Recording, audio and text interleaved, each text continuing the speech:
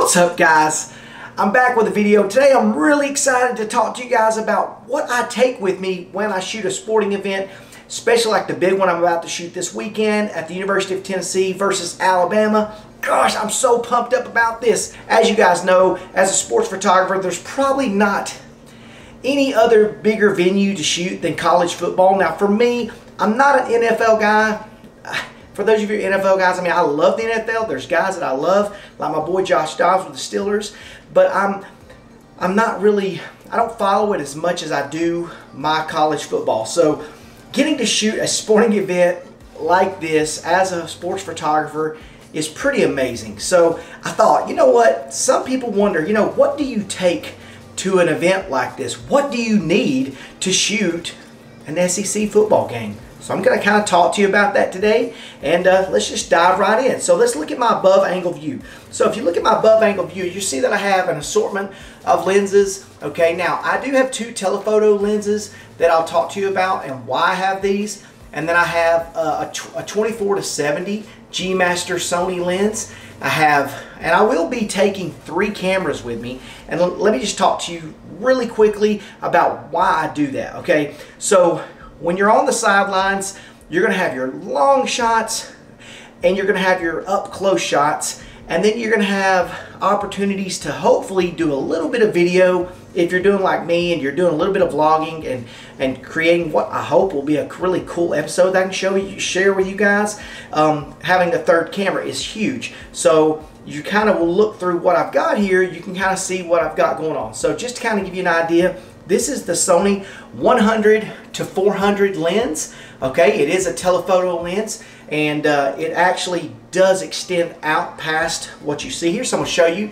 So this is a 100-400 G Master lens from Sony and when you crank it out really far you can see that this sucker really gets huge. So it's, it's definitely not, for those of you that have shot um, traditional Nikon or Canon lenses, you know the telephoto lenses, a 400 millimeter lens is massively heavy. So, you know, having um, having a camera like the A9 paired with the 100 400 it's definitely not as huge a footprint as far as weight for you out on the football field i can handhold this at pretty much almost all speeds that i shoot for sports without using a monopod which is for me huge because when you're moving around the football field, the last thing in the world you want to do is to be stuck with a monopod and you can't move maneuver around. Now obviously, if I had a huge lens that I couldn't hand hold and it was very difficult for me, I probably would use it, but really fortunate for me as a Sony user, as a mirrorless user, the footprint for weight is not that bad. Now this is my 70 to 200 uh, f4 lens by Sony, and this is the one I got first because they didn't have a 2.8. They do now, it's about $2,500 and I'm just not ready to dive in to get that just yet because I'm able to get everything that I need out of my A9 that makes this F4 work really fast for me. So obviously really dark areas in a sporting event, an F4 might not be ideal, but we're talking about an SEC game that's at 3.30 Saturday, so I really don't think light's going to be a factor, and also most SEC stadiums are going to be lit up really well. And so you don't necessarily have as many issues as you would at a high school football field trying to shoot an F4. Um, so, so I've got these two telephoto lenses. This one's a 70 to 200 F4. This is the 100 400. I'm going to pair that with my A9. I'm going to pair the 70 to 200 with probably my, it probably seems crazy, I'm probably going to start off and pair it up with my uh, A6000 just because it shoots really fast. And, I, you know, I'm kind of iffy on that, what I'm going to do with that, but I'm just going to try that because it's a combo that I use quite a bit. And then the 70, I mean, the 24 to 70, I'm going to put on my A7 II, which is filming right now. And I'll probably jump back and forth between this one and my my uh, 10 to 18, which is actually filming on my A6000 right now. And you might be saying, hey, well, why? Because when you get shots in the stadium, it's a really big deal to get these wide angles, right, wide shots of the field. So not only do you want to get those up close personal shots, sports uh, action shots, but it's really cool to kind of capture the entire stadium um, when you're when you're out there. So with the 24 to 70, it does a great job. It's fast, it's 2.8, but you know, it doesn't get as wide as say this 10 to 18. Now I've not gotten to shoot this 10 to 18 at a college game yet, so I'm interested to see how that works.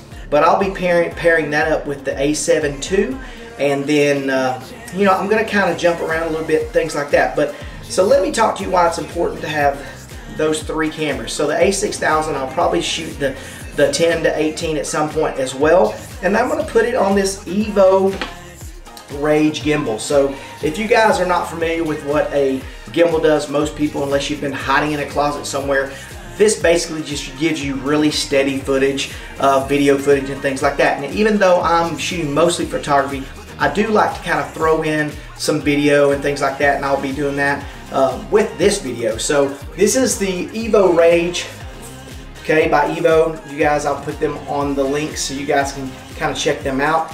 They actually have a couple of different um, newer versions of this. They have the Smooth, which is one that you can actually uh, use with your um, your iPhone, which I actually have the uh, DJI Go Osmo Mobile, which is uh, right here. I actually have it attached to my to my um, my uh, C stand uh, to do like some live feeds from my Instagram or my Facebook, and I may actually take that as well. So let me pop that off and show you that too. Ah, so I'm back. I had to take that off. It took a second, but this is my DJI Osmo Mobile um, that I use with my cell phone, and it's something I like to do when I'm just doing quick vlogging. You know, I've gotten really good with using my hand to, to hold out in front of me, but this gives me that added footage of being able to move around and be really well balanced in video. And I'm going to show you, I actually have some little coins on mine because um, initially I had a, a, cell phone that was really heavy. It was the A6, A7, A7, it's either A6S Plus, I think it's what it was. So that was a really heavy uh, uh, phone. So when I put it in there, when I put it in, it was still a little off balance. And so you have to get these things really balanced or it kind of works the motor a little too hard. So, but anyway, I put these on here, kind of, kind of just offsets it. So, you know, when I'm, when I basically have it powered off, it still stays very balanced even with it off without it working the motor too much. But I'll probably put that in here too. So I'm gonna have this in my, this will be in my backpack along with um, my Evo um, Rage, okay?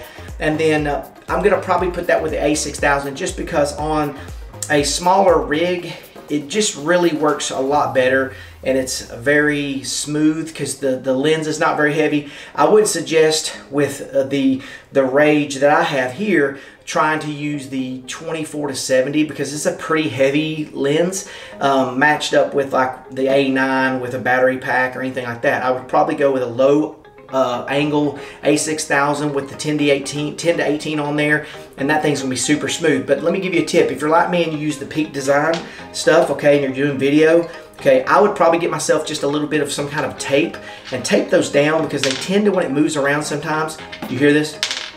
Yeah, so it kind of makes noise sometimes when it's moving around and you're jostling it, so it kind of, you can hear that in there.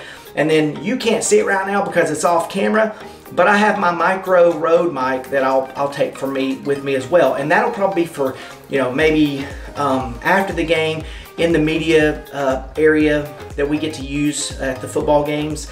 I can use that for any kind of interview type stuff that I want to record after the game. I'm not sure if I'll do that this year, but if I do, I'll show it to you. But that just really helps out with the with the loudness and stuff like that. So, um, so my main camera will be the, the Sony A9. This is the flagship.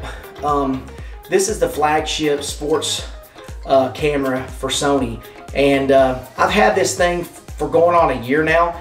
And to be quite honest with you, uh, there's just not another, uh, there's just not another sports camera out there that, in my opinion, can even touch this one. At 20 frames per second, uh, this thing, you know, I don't know all of the details. I know them, I've had them, but I don't really care about all that. I mean, the focus points on this thing, there's uh, seems like there's a million. I don't I don't miss things.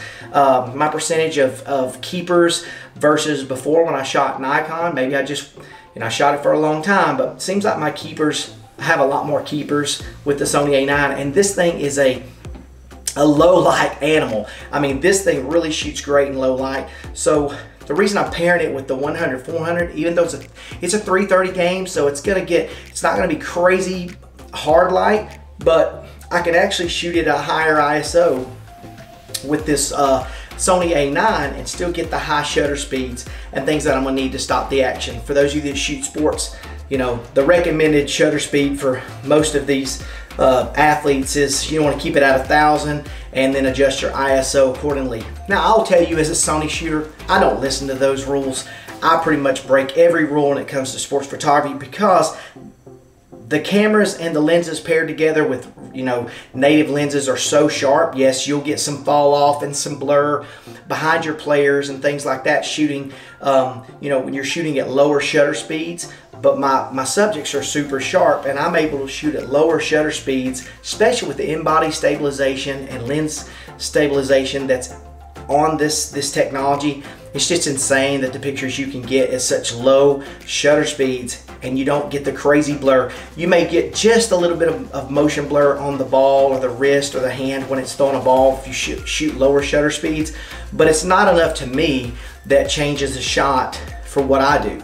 So, you know, obviously if, you know, you don't like that little bit of blur, you're gonna have to bump up your shutter speed and then play with your ISO. I like for mine to be clean, but also not be something that I have to, you know, really bump up my ISO so much to get a lot of grain. And grain is one of those things, it's, it's very, I guess, uh, personal to the photographer or what you shoot. If, if you want very, uh, if you want everything stopped on a dime and you don't care about a little bit of noise, if you have to do that, then hey, go for it. But what I found is with this Sony A9, I don't get as much noise as I did with Nikon uh, cameras. So I hope I haven't gone on too much. So I also have this Joby, uh, this Joby or Joby uh, tripod that uh, that I love. And the reason I have this is because what I plan on doing was was with the, the Sony a6000 is uh, putting it out in front of me a little bit here and there during the day and just getting some video of the stadium and get some talking points of me talking because uh, I plan on kind of capturing the day as I shoot the Tennessee game. So this is really important for that. You can latch it onto something if you're going to shoot wirelessly or anything like that. I've not really played with that too much. Um, and I'm not going to do that here at the UT game, but you could uh, link this up, put this with uh, some type of um, you, with a trigger or something like that, and you could fire it remotely. Like if you were, you know, wanting to get some run through things, and you could set up a camera and it wasn't going to get knocked over, and you could fire it, uh, you know, with a pocket wizard or something like that. And I do have those, but I'm not going to take that to the game. But that's just for video and stuff like that. And then um, you'll probably see this right here. This is the ALM9. Uh, this is from Aputure. And the reason that I have this is just because uh, there could be a situation where, you know, I'm at a tailgate area, maybe it's not very bright in that area and I want to do a little video or a little bit of talking point or something like that. To you guys, for my video, I can turn this on and basically get the light without having to mess with my ISO on my camera and really fill in the light. And you know, we're gonna be there uh, during the day, but as it gets darker and stuff, to give you guys some maybe some you know information of what it was like shooting the game. I know when I start coming back it's going to be dark, so I'll have this for when it gets dark and I can get some really cool shots. Um, but there's a lot of things that I plan on doing with this, but this is basically what I take, and this may to some people seem like quite a bit, but to be honest with you, I want to make sure that I'm ready. But if you guys have ever shot anything and and going back to uh, why I take three cameras, because I have a different lens on all of them. So if you only had one camera, and obviously you can do that, but if I had to take this lens off, pop on another uh, lens, and then maybe take it off and go to another lens, I'm introducing a lot of opportunity to get dust in on my cameras, so on the sensors. Now, you know, I've not had a lot of trouble with uh, dust and things like that because I don't really take off my lenses in areas where it's dusty. I usually like to do that and then just go with what lens I have or have two bodies so I don't have to take it on and off. But I have had a couple shots just recently. I know I need to get in and kind of just, you know, blow out some of the dust that gets in there every once in a while when you're changing lenses or, you know, when you're changing them out. You know, you try to do it really quickly, but it introduces it sometimes. So, you know, basically, you know, this is my gear. Uh, I, I, take it all in. Uh, I'll show you guys my backpack. So this is so this is the, the backpack that I that I use to take into the game. So usually I put my Sony um, I put my Sony A9 in here, maybe the 70 to 200 in this little lower area. We'll see. I may just use one side for the 100, 400 and things like that. I usually tuck the little uh, Jobby tripod into this little uh, side piece here. And then also with the Evo gimbal, I have another little spot over here or I can hang it off the back. Now, Here's a little cool thing that uh, I'll do sometimes, and I may do that for this game. Uh, this is the Peak Design leash, which uh, if you guys don't know anything about Peak Design, I'll try to put a link if I remember to put a link to Peak Design, but they're phenomenal. And basically, the way their products work, let me kind of show you, is uh, they have these little beads that come off your camera. You can put them anywhere that you want, and basically the way they work, you just latch them in. So if you guys can, can see the way that is, you just take your little bead, you stick it inside the, the piece, you push down a little bit and pull it and that's locked in. So with a leash, you know, like if you've got like my third camera, which is my Sony a6000, sometimes I put it on a little hip clip that I have that's through Peak Design. And what I'll do is, is I'll have that, you know, just kind of set to where I can basically pull it straight from my hip. There's a little click, like a little button on it that I can click it and pop it off. And there's just a little bit of a, there's a little uh, mounting bracket that goes on the bottom of, of the camera and you just click it on your side and it kind of looks like you're you're packing some heat but sometimes you know I'll have my two cameras on me with with my little A6000 locked on that little um, hip clip there that I can just pop it off and just get some shots but the reason that's the uh, the leash is great is I can shorten that leash to where it's just long enough to where I can get it up to my face but not long enough to where the camera if it got knocked away that it would fall and hit the ground. You're talking thousands of dollars of damage and that's just a really big deal. So the leash is something really cool. I usually have that on my third camera if it's on my hip just to keep that from falling off. Sometimes I go with a double sling harness, which I'll probably take this time, uh, just so I can have my, uh, probably the A7 II and the A9 on the sides and then just have that one little the A6000 kind of on my hip clipped away. Uh, I also have some little uh, lens holders and stuff like that. But as you guys know, the more equipment you have on the sidelines, the more likely it is that someone's gonna bump you running out of bounds or, or anything like that. But this is the equipment that I use when I shoot sports, whether it's high school or college. You know, I usually like to at least have two lenses.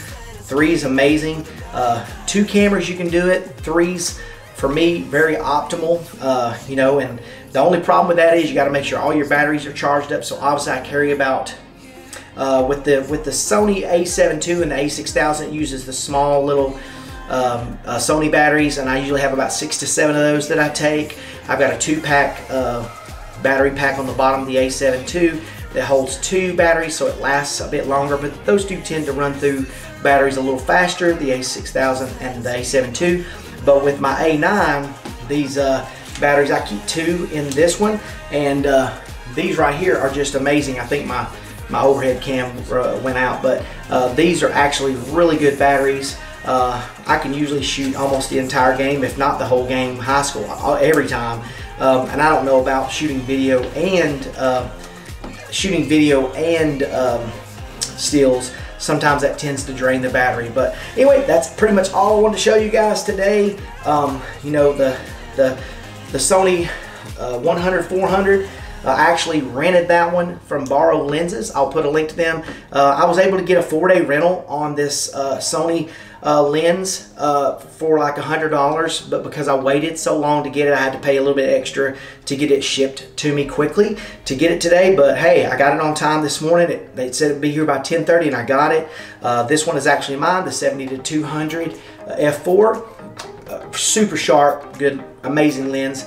The 24 to 70 uh, is an amazing uh, G-Master lens. This one, this one's pretty much, I could keep this on my camera not put anything else on it for the most time for most things that I do. But, uh, you know, who needs just one lens? You got to have a lot more if you're a gear, gear guy like me. And then the other, my, my A9, the, uh, the Jobby uh, monopod, the Evo uh, Rage gimbal, and the DJI Osmo Mobile um, gimbal as well with my, uh, my M9 uh, LED light. If you don't have one of these things, they're only like $49 on. If you go online and go to BH um, and get these, these are phenomenal. They do, uh, they have a little plug and they're rechargeable and they stay charged for forever. I mean, I've not used this thing in forever and I bet it still works. Yeah, there it is. See, see how bright that is? And that's not even as bright as it goes. I mean, it's really honestly one of these things you, you don't know you need it until you have it. But uh, anyway, pretty much that's it. Um, I plan on, you know, uh, doing another video of my actual experience at the Tennessee game and what that was like to shoot. This is not my first game shooting at the at the University of Tennessee, but um, like I say, it's it's uh, it's always special when you get to shoot something as big as an SEC football game. So anyway, hope you guys get something out of this. If you're if you're not a Sony mirrorless shooter, if you're looking to get into to, mirrorless cameras, I will tell you that there is, in my opinion, the future is is now with mirrorless. Whether you go with Sony, Nikon, or Canon, uh, I will tell you that Sony mirror Sony has been in the, the mirrorless system uh, quite a bit longer, and I feel like has has uh, I think they kind of have the game on lock right now with uh, their lenses and their bodies. They've kind of gone through the trials and tribulations of what it's like to uh, kind of build a mirrorless system. So I feel like they're kind of ahead of the game. Uh, I think Canon and Nikon are, are trying to catch up. Uh, who's to who's to say if they're gonna catch up or not? But I would I would say that uh, you know the more competition, the better it is for us as photographers and people that love photography. So anyway, that's it for this video. I hope you got a cool idea of what I use in my bag and uh, we'll see y'all later. Peace out.